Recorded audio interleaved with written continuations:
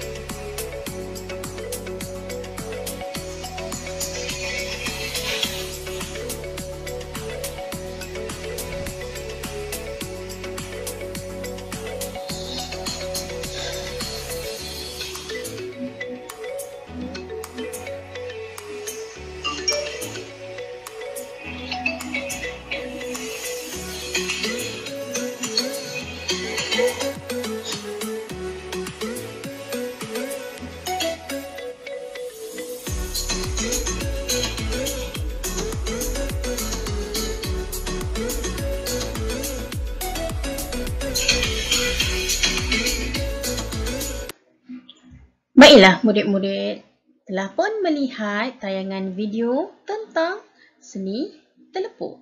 Mari kita teruskan lagi. Baik, ini ialah contoh gambar seni telepuk sungguh cantik dan amat berseni. Baik, seterusnya mari kita membaca petikan dengan sebutan dan intonasi yang betul. Petikan ini bertajuk Kisah Penggiat Seni Telepuk. Mari baca bersama-sama cikgu. Puan Rogayah ialah ibu saudara Izuni. Beliau merupakan penggiat seni telepuk yang ternama. Kemahiran beliau dalam seni telepuk amat dihargai dan diiktiraf oleh masyarakat tempatan dan antarabangsa. Pada suatu hari, beliau telah diundang ke festival kesenian di ibu kota. Semasa berada di sana, beliau terpandang akan seseorang yang amat dikenalinya suatu ketika dahulu. Itu Cikgu Azimah, bekas guru pendidikan seniku, bisik hati Puan Rogayah. Secara tiba-tiba, peristiwa yang berlaku kira-kira 20 tahun yang lalu menerjah ingatannya. Ketika itu, dia masih di bangku sekolah. Apakah maksud telepuk, Cikgu? Tanya Rogayah. Sebelum itu, Cikgu Azimah telah menunjukkan sehelai kain telepuk yang cantik kepada murid-muridnya di dalam kelas. Telepuk bermaksud bunga-bungaan dan corak-corak lain yang diperbuat daripada perada emas. Jawab Cikgu Azimah. Perada itu apa, Cikgu? Rogayah bertanya dengan lebih lanjut. Perada ialah serbuk berwarna emas.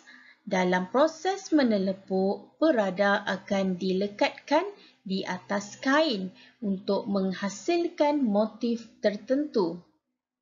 Selain perada emas, peralatan yang digunakan dalam proses menelepuk ialah gam Arab. Pelbagai corak, sarang bunga kayu berukir, sudip buluh dan berus. Jelas Cikgu Azimah lagi. Adakah seni telepuk ini akan kekal 20 tahun akan datang, Cikgu? Rogayah menimbulkan persoalan. Selagi masyarakat kita menghargai warisan seni bangsa, Cikgu yakin bahawa seni ini akan terus terpelihara.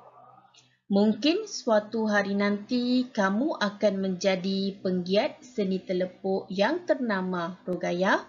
Siapa tahu? Cikgu Azimah membuat ramalan.